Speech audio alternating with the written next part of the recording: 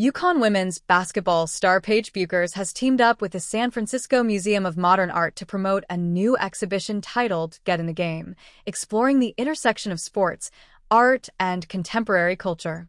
The exhibit, which opens on October 19th, highlights the ways athleticism transcends the court, spotlighting not only Bueckers but other sports icons like Muhammad Ali, Michael Jordan, Colin Kaepernick, and Venus Williams.